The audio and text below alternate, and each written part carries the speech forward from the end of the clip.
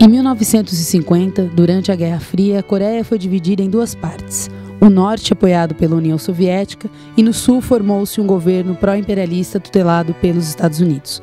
Em junho de 1950, os sucessivos conflitos de fronteiras desembocaram numa verdadeira guerra entre as duas Coreias. E naquele período era muito comum se fazer paródia de músicas famosas, inclusive as músicas de carnaval. E teve uma música de carnaval que chamava É com esse que eu vou. Pra Coreia não vou, nem amarrado não vou não. Pra Coreia não vou, não dou pra bucha de canhão. Quem quiser me mandar, que vá primeiro lá por mim. E me diga se é bom morrer assim. Nas comemorações de 7 de setembro daquele ano, a operária comunista Elisa Branco foi presa e condenada a três anos de prisão. Seu crime, estender diante dos soldados e autoridades uma faixa que dizia: Os soldados, nossos filhos, não irão para a Coreia. Elisa se tornou desde então um símbolo da luta contra a guerra, sendo agraciada com o prêmio Stalin da Paz, a maior honraria que um comunista poderia ter naquela época. Seu nome figurou ao lado de personalidades como Neruda, Picasso e Bertolt Brecht. Diante das sucessivas derrotas de seus aliados, os Estados Unidos entraram na guerra e conseguiram que a ONU enviasse tropas de 15 países para combater o exército norte-coreano. O que era uma guerra civil se transformou numa guerra imperialista de ocupação.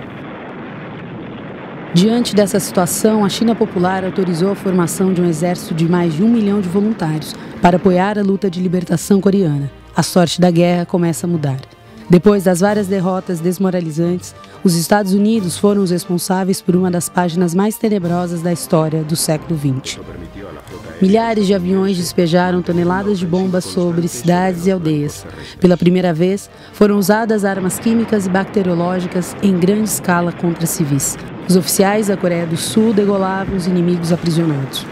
Num certo momento, os generais estadunidenses ameaçaram lançar bombas atômicas contra a Coreia do Norte e a China, condenando o mundo ao perigo de uma terceira guerra mundial.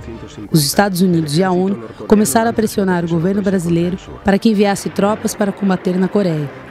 O presidente Dutra se mostrava simpático à causa imperialista, cogitando enviar 20 mil soldados. O movimento comunista internacional desencadeou uma das maiores campanhas pela paz já vista até então. O Achille Chateaubriand, na época, ele tinha a rede dos diários associados, que era a maior rede de jornais, e, eh, rádios e televisão. Ele iniciou uma campanha né, para o envio de voluntários para lutar na Coreia ao lado dos americanos. Aí, a direção do Partido da Juventude Comunistas, nós resolvemos fazer uma ação no saguão do prédio onde funcionavam os diários associados.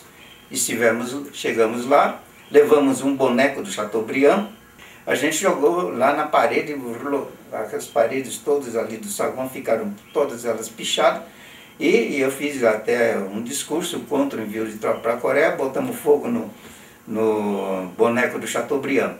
Mais de 3 milhões de coreanos morreram no conflito e toda a infraestrutura do país foi destruída.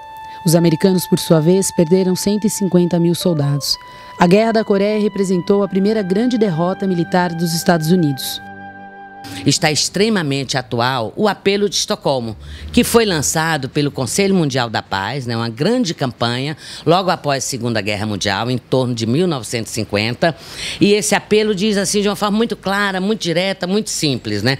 Primeiro, que a questão do uso das armas atômicas é um crime contra a humanidade, que deve haver um rigoroso controle para impedir o uso é, da bomba atômica e que o primeiro país que usar mão da bomba atômica contra qualquer nação seja considerado criminoso, crime de guerra, crime de lesa humanidade e que seja punido como tal.